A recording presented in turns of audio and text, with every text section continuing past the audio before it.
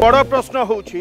ষষ্ঠপাড়ি না সত্তা পরিবর্তন? এ প্রশ্নর উত্তর খোঁজা এ চবিশ বর্ষে চবিশ বর্ষর স্থির সরকার সোরর বিকাশ কম হয়েছি পাখাপাখি যে হসপিটাল অছি তা সব রেফর করা যায় কিন্তু দুঃখর বিষয় ডাক্তার না এনএচএম রুইটা বিল্ডিং হল এনএচএম তো সেন্ট্রাল গভর্নমেন্ট গলা আরে তুমি স্টেট গভর্নমেন্ট কম এই বাউন্ডারি করছ যেতে পর্যন্ত ইয়ে জনপ্রতিনিধি পকেট গরম করিবার ব্যস্ত সেত পর্যন্ত এ সমস্যা সমাধান হব না মাগুড়ির যে ବାଗୁଡ଼ିର ଯେଉଁ ଲୁଟ୍ ହଜାର ହଜାର କୋଟିର ରାଜସ୍ୱ ଲୁଟ୍ ସେଇଟା ଆପଣମାନେ ହିଁ ଲୋକଲୋଚନକୁ ଆଣିଥିଲେ ଆମର ଯେତିକି ନେତା ମନ୍ତ୍ରୀ ହେଲେ ସେମାନେ କାଠ କଣ୍ଡେଇ ତାକୁ ଯେ ମୁଖ୍ୟ ପରିଚାଳନା ଯୋଉମାନେ କରୁଛନ୍ତି ମୁଖ୍ୟମନ୍ତ୍ରୀ ବି କିଛି ଜାଣିପାରୁନାହାନ୍ତି ସିଏ ତ ନିଜେ କିଛି କହିପାରୁନାହାନ୍ତି ଆରେ ସିଏ ଆପଣ ସାମ୍ନାକୁ କେମିତି କେତେଥର ଆସିଛନ୍ତି ଆପଣ କହୁନାହାନ୍ତି? ଯେ ଶିକ୍ଷା କ୍ଷେତ୍ରରେ ସ୍କୁଲର ଚୂନ ମରା ହେଇକି ଚକାଚକ